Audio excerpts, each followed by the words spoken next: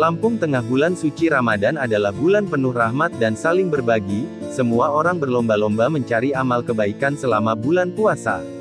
Hal itu pula yang dilakukan sejumlah wartawan yang tergabung dalam Perkumpulan Jurnalis Indonesia Demokrasi PJID Kabupaten Lampung Tengah.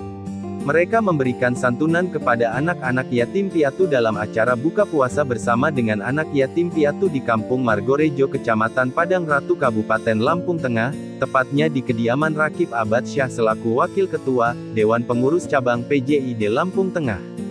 Sabtu tanggal 30 April tahun 2022. Acara dihadiri sekitar 42 anak yatim piatu dari Kampung Margorejo dari dusun ke dusun. Ini bulan penuh rahmat dan penuh barokah. Ini menjadi momen kita untuk saling berbagi agar anak-anak yang ditinggal salah satu orang tuanya ikut berbahagia pada saat lebaran nanti, kata Ketua PJI Demokrasi, Lampung Tengah Ahmad Suwarno, SH, dalam acara tersebut. Menurut Sefri Widiansyah selaku Bendahara Pengurus Cabang PJI Demokrasi Lampung Tengah, Terselenggaranya acara itu merupakan partisipasi dari semua jurnalis yang tergabung dalam Forum PJI Demokrasi Lampung Tengah, dalam menyisikan sebagian rezeki mereka untuk para anak yatim piatu.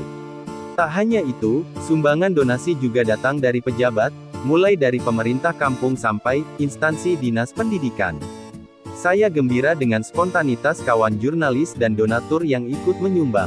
Kami berhasil mengumpulkan dana sebesar Rp3.500.000, dalam tempo satu minggu ini, ujar Sefri Widiansyah, yang juga menjadi pimpinan perusahaan di salah satu media cetak di Provinsi Lampung. Sefri Widiansyah berharap, peji demokrasi tetap eksis dengan aksi-aksi solidaritas kepada kegiatan serupa di tahun mendatang. Meski demikian, dia juga meminta rekan-rekannya sesama jurnalis tidak meninggalkan kerja jurnalistik di lapangan dengan penuh dedikasi dan profesionalisme yang tinggi, ungkapnya. Dalam kesempatan itu Rakib Abad Syah selaku tuan rumah juga mengatakan, terima kasih atas kehadiran adik-adik semua, kami minta doa dari adik-adik semua semoga PJI Demokrasi Lampung Tengah tetap berjaya, jelasnya. Rakib Abad Syah dari Lampung Tengah reporter televisi Sergap Buser mengabarkan. Sejumlah 42 anak dan satu bingkisan untuk di untuk dibawa pulang mudah-mudahan ke depan biji demokrasi Lampung Tengah bisa lebih berkembang, bisa lebih maju, lebih amanah lagi, dan ke depan terpercaya oleh masyarakat bahwa berita-berita aktual yang disajikan oleh biji demokrasi akan lebih mampu mendorong pembangunan untuk Kabupaten Lampung Tengah.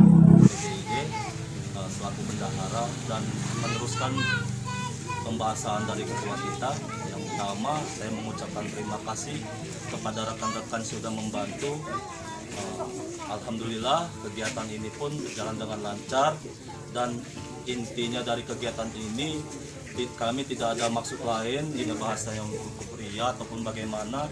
Intinya nah, sekali lagi saya ucapkan terima kasih kepada rekan-rekan yang sudah membantu dalam hal, kegiatan ini. Saya ucapkan ribuan terima kasih sebagai tuan rumah mengucapkan terima kasih kepada rekan-rekan yang telah hadir.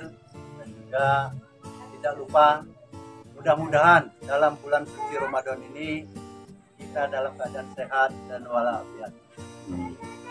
Saja ucapan dari saya.